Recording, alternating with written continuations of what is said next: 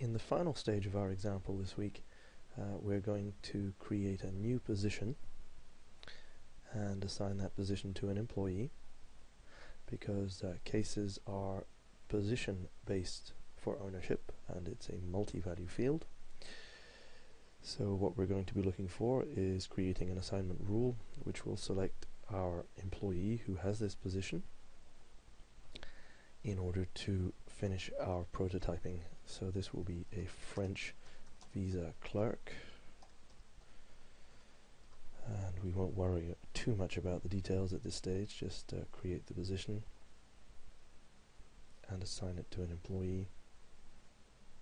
We're going to use Colin Banana as our example employee. And the position and the position of French visa clerk will have an assignment skill of language and French as you would expect.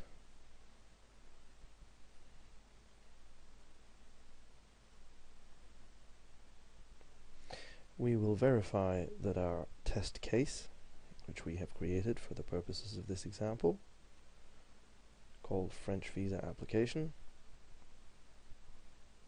This case leverages our new case skills item table and a new view demonstrating that we can now select a skill and a skill item. Furthermore, we will go to assignment rules. We will create a new assignment rule for pub case and we will say that candidates are all people. The rule criterion is language and we will use compare object to person to leverage once again our new skill item for the case. And we will release our new assignment rule. And we will create an assignment rule batch assignment job in our job screen. We will create a new batch assignment job with a parameter value for assignment object corresponding to the name of the assignment object which is pub case and we will submit the job.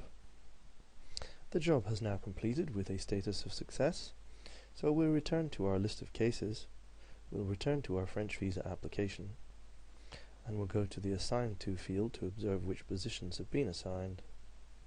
And we can observe that thanks to our skill item table, Colin Banana, the French visa clerk, has been assigned to the case. Because we didn't configure the assignment object to uh, keep creator equals false or any of the other possible parameters, Siebel Administrator, who created the case, is still on the team, but that's obviously nothing to do with the uh, case skills and case skills items that we've been discussing today. Good. Well, I do hope you enjoyed our investigation of skills, of expertise, skill tables, and skill item tables, and I look forward to seeing you once again very soon. Have a great day and goodbye from On Demand Education.